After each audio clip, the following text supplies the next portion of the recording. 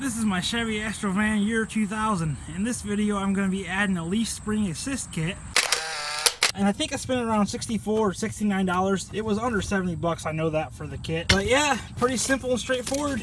So before I go ahead and start into it, I'm going to take a measurement from down here. Alright, I'd say we're right at 28 and a half inches. So what I'm hoping is I'm going to be able to take that sag out of the back here.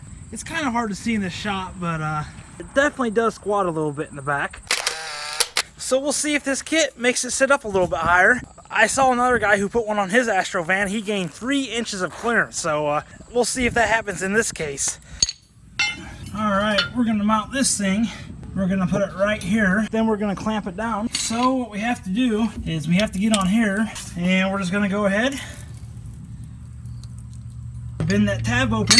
All right, I'm gonna have to bend this a little bit right here. Okay, flex that a little bit. You might not have to. I saw another guy doing this and he didn't have to. But for this case, my year 2000 Astrovan, I had to do that. So anyhow, we're just gonna center this right here. Because if you try to mount it, this bracket right there in front of this hole, the back piece sticks way too high and there's no way you're gonna be able to crank it down unless you have a C-clamp. Well, I seen another guy do it that way, and after messing around with it for a while, I decided that, well, it wasn't worth spending an extra 50 bucks on buying a C-clamp that I didn't have, so I just went ahead and took that little plastic piece out, and uh, I didn't see any harm in it. It just mounts up just like that over the hole, and hey, it worked on the other side, so I'm just going to go ahead and do the same thing right here. Get it started, then you'll tighten it all the way up with a 3 quarter inch wrench right here, and I'm just going to work it back and forth each side, and we're going to keep the plate even while this presses down. Same thing over here, and then the ratchet runs out of reach because the threads. Alright, well I'm just about out of socket here.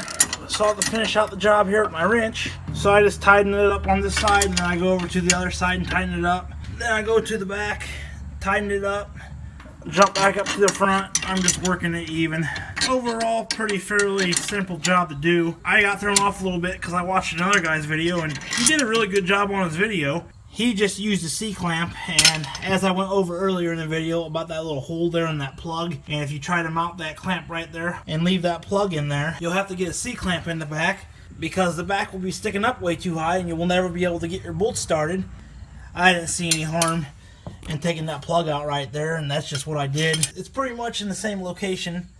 My idea was to take this bracket right here and have it touch this piece right here but I wasn't able to make that happen without getting a bigger C-clamp. And like I said, it was 50 something bucks. And I didn't feel like buying a C-clamp for 50 bucks. I didn't see any harm in mounting it where it is right here. Close this back up now.